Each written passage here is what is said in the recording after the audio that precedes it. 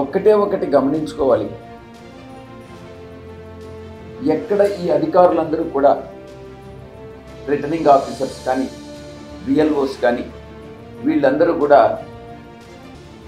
అధికార పక్షం రాష్ట్రంలో అధికార పక్షం ఇచ్చినటువంటి ఫిర్యాదు మీద చర్యలు తీసుకుంటే కేంద్రంలో అధికారంలో ఉన్నటువంటి బీజేపీకి ఎక్కడ కోపం వస్తుందో కూటమికి ఎక్కడ కోపం వస్తుందో అన్నటువంటి ఒక భావనతో నిష్పాక్షికంగా వ్యవహరించకుండా ఒకవైపు కొమ్ము కాయ కాయడం అన్నటువంటిది మేము చాలా గర్విస్తూ ఉన్నాం. ఒక్క విషయం గుర్తుపెట్టుకోవాలి. ఈరోజు ఏడుగురు మీద మేము కంప్లైంట్ ఇవ్వడం జరిగింది పిఎల్ఓస్ నేను ఒక్కటే చెప్తా ఉన్నా. అధికారం అన్నటువంటిది తాత్కాలికం శాశ్వతం కాదు. అది ఎవరైనా కూడా చట్టానికి లోబడే పని చేయాలి.